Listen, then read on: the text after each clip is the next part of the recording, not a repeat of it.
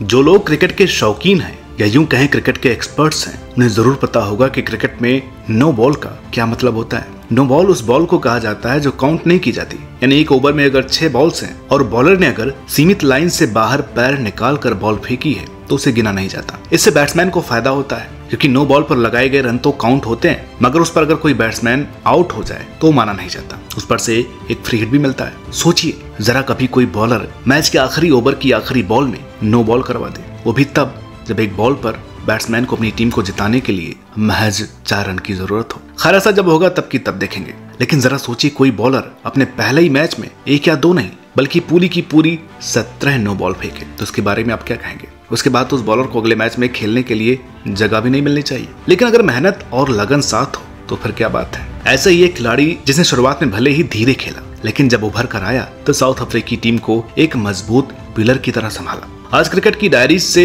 एक और धुरंधर खिलाड़ी के बारे में आपको बताने वाले हैं। हीरोज ऑफ़ वर्ल्ड क्रिकेट की इस खास श्रृंखला में बात करने वाले हैं मॉर्नी मॉर्कल की। नमस्कार दोस्तों, मेरा नाम है अनुराग सूर्यवंशी और आप देख रहे हैं नारक टीवी दोस्तों, इस वीडियो में हम जिस खिलाड़ी की बात करने वाले हैं वो साउथ अफ्रीका के दिग्गज खिलाड़ी कोई और नहीं, बल्कि मोर्ने मॉर्कल है। मोर्ने मॉर्कल का जन्म 6 अक्टूबर उन्नीस सौ चौरासी को वेरिनिंगिंग में हुआ था। मोर्ने तीन भाइयों में सबसे छोटे थे और उन्हें क्रिकेट विरासत में मिला। पिता अल्बर्ट मॉर्कल और उनके बड़े भाई भी क्रिकेट की दुनिया में कदम रख चुके थे। मोर्ने मॉर्कल के खून में बचपन से ही क्रिकेट दौड़ रहा था। महान क्रिकेटर बनने का सपना आँखों में लिए मोर्ने ने क्रिकेट के मैदान में अपना पहला कदम रखा साल 2003 में। ईस्टर्न टीम के लिए मोर्ने ने साउथ अफ्रीका के दौरे पर आई वेस्ट इंडीज के खिलाफ खेला। पहले सीज़न में मोर्ने की गेंदबाजी ने कुछ खास कमाल नहीं दिखाया और उन्होंने सत्रह नो बॉल फेंकी। पाँच ओवर के स्पेल में मोर्ने ने चौवन रन लुटाए।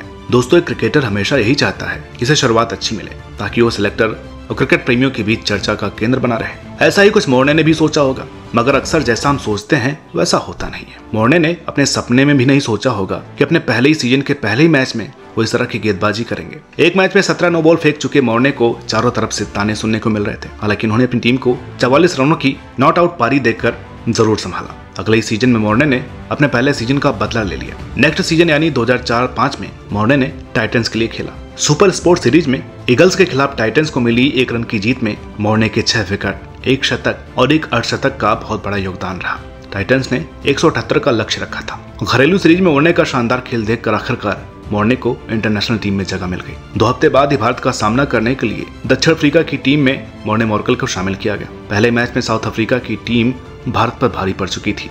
या ये कहें कि अकेले मोर्ने भारतीय टीम के साथ खेल रहे थे। उनहत्तर रनों के साथ भारतीय टीम के पाँच विकेट ढेर हो चुके थे, जिसमें से चार मोर्ने ने ही लिए थे। मोर्ने को भारत के खिलाफ खेलने का मौका उनकी मेहनत और किस्मत से मिला था, क्योंकि साउथ अफ्रीका के अल्फांसो थॉमस ने घरेलू सीरीज़ में दूसरी पारी में छप्पन रन देकर सात विकेट लिए थे। लेकिन बावजूद इसके, साउथ अफ्रीका की नेशनल टीम में टेलेस्टन की जगह मॉर्कल ने अपना टेस्ट डेब्यू किया।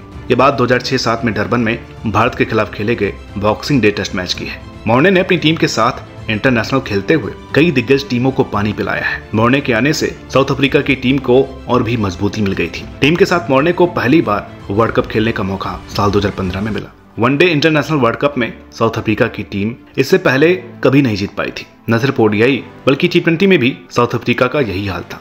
साउथ अफ्रीका को वर्ल्ड कप का चोकर कहा जाता है, जो पूरे टूर्नामेंट में एक कड़ी टीम की तरह बाकी टीमों को टक्कर तो देती है, लेकिन फाइनल तक आते आते बाहर हो जाती है। साल 2015 के ओडीआई वर्ल्ड कप में सबकी नज़रें एक बार फिर साउथ अफ्रीका की टीम पर जमी हुई थी। पूरे टूर्नामेंट में साउथ अफ्रीका ने धुआंधार परफॉर्मेंस से अपनी जगह सेमीफाइनल में बना ली। पूरे टूर्नामेंट में मोर्ने ने भी अच्छा प्रदर्शन किया। सेमीफिनाले का दिन भी आया।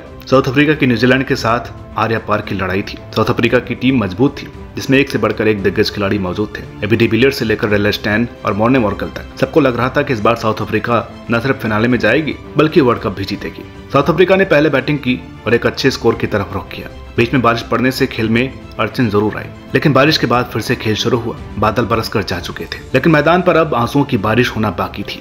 ओवर्स को 50 से घटाकर बयालीस दशमलव दो कर दिया गया। साउथ अफ्रीका के बल्लेबाज कुछ खास कमाल ना दिखा सके और दो रनों पर ही सिमट गए। हाफ़ डुप्लेसी के बयासी रन और एबी डिविलियर्स के पैंसठ रनों की बदौलत साउथ अफ्रीका लड़ने लायक टारगेट सेट कर पाई थी। अब न्यूजीलैंड की बारी थी अपना बेहतरीन खेल दिखाने की, क्योंकि ये कांटे की टक्कर थी। न्यूजीलैंड को दो सौ अट्ठानबे रनों का लक्ष्य दिया गया था। साउथ अफ्रीका के बॉलर्स पर पूरी टीम की उम्मीदें जुड़ी हुई थी। मोर्ने ने सबसे ज़्यादा तीन विकेट अपने नाम किए, मगर फिर भी साउथ अफ्रीका को हारने से नहीं बचा सके। डेथ ओवरों में दुनिया के सबसे खतरनाक गेंदबाज डेलेस्टेन ने मोर्चा संभाला, लेकिन उस दिन किस्मत को कुछ और ही मंजूर था। ऐसा लग रहा था मानो साउथ अफ्रीका जीत जाएगी, लेकिन ऐसा नहीं हुआ।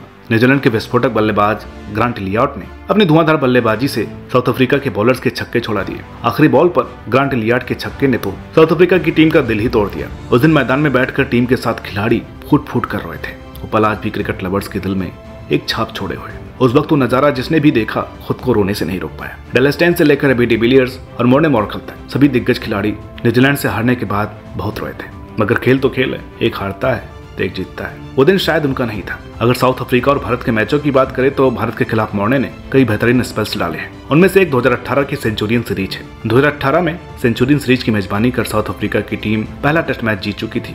और तीन मैचों की इस टेस्ट श्रृंखला को जीतने के इरादे से मैदान में उतरी थी। मेजबान टीम ने पहले बल्लेबाजी की और 335 रन बनाए, जिसके जवाब में भारतीय टीम सिर्फ़ 307 ही रन बना पाई। अगली पारी में अफ्रीका ने दो रन बनाए, जबकि भारत एक सौ इक्यावन रनों पर ऑल आउट हो गई। भारत की हार में सबसे बड़ा योगदान रहा बोर्ने की लाजवाब गेंदबाजी का। बोर्ने ने 60 रन देकर महत्वपूर्ण विकेट अपने नाम किए थे, जिसमें से एक सौ तिरपन रन बना चुके विराट कोहली का अहम विकेट भी बोर्ने ने अपने नाम किया था। इसका नतीजा ये हुआ कि मेजबान टीम 233 रनों से मैच जीतने के साथ साथ सीरीज़ भी जीत गई।